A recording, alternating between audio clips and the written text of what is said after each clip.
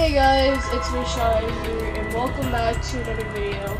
Today I'll be talking about a sexuality hater called Nova underscore Gacha. If you don't know who Nova underscore Gacha is, she is a sexuality hater who has lesbophobia and or homophobia and transphobia. Nova also hates the LGBTQ community and says everybody should be straight. I hated how everyone don't know a new word for straight called heterosexual.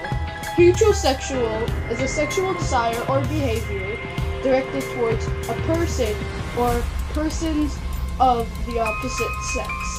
That is the same thing as straight. Nova is also the same thing as Ashley XD, supporting white people and most importantly hating r slash Gacha Life cringe. Speaking of r slash Gacha Life cringe, Nova's on it, and if some person puts her on r slash Gacha Life cringe, she will beat their ass. Even though she's stupid. Nova said which Ruma did it, even though they said their username on the top left corner, and she didn't mind reading it. Nova also saw a Gacha tuber who make their watermark big so they won't be on r slash Gacha Life cringe, and she decided to do the same thing and makes fun of us of saying, have fun putting me on r slash Gacha Life cringe, even though the watermark looks so freaking disturbing when it's big. And I don't want to toot my own horn, but I have a watermark. I made my watermark two days ago, so on the right bottom corner of your screen, you might see it. Anyways, I kind of think that Nova underscore Gacha is kind of trying to change. She made two good videos about a white person hater called Gacha Loves Nico and Getting Terminated.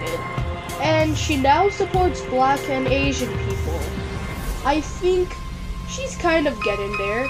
If she posts the same content she posted about like two videos, or supporting the LGBTQ community, I think she might get more likes than dislikes on her video if she tries to support the LGBTQ community and not saying everyone should be straight.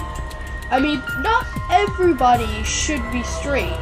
Some girls don't like men, some boys don't like women. They just like to be with their own gender or sex or whatever. Anyways, I hope you guys enjoyed this video. Hit the like button, subscribe, hit the notification bell to not miss any of my latest content, and I'll see you guys next time. Bye guys!